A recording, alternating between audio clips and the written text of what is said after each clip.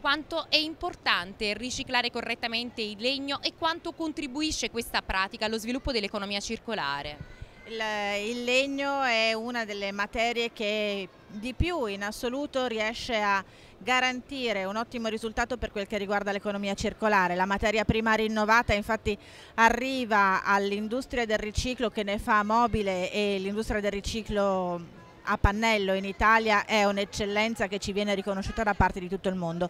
Peraltro i riciclatori hanno avuto questa intelligente intuizione diversi anni fa quando ancora non si parlava di riciclo vero e proprio, dunque quando ancora il decreto Ronchi non era operativo e hanno riconvertito i loro macchinari per consentire all'Italia di rimanere eccellenza nel mondo. Ovvio che questo lavoro non potrebbe completarsi senza il coordinamento e il supporto del Consorzio Rilegno. Con questa pratica l'industria del mobile in Italia è veramente un'eccellenza non solo l'industria del mobile è un'eccellenza, ma anche, si è anche sviluppato in questi ultimi anni un'attenzione a tutta quella che è la parte di prevenzione, dunque che è il riuso creativo, il riciclo creativo, l'allungamento del ciclo di vita dell'imballaggio, proprio per sostenere anche questa nicchia, che nicchia non è e che è molto diffusa, il Consorzio ha di nuovo eh, replicato il concorso Legno d'Ingegno, che è un concorso per i riusi creativi del legno in, negli ambienti ambienti domestici, dunque in casa.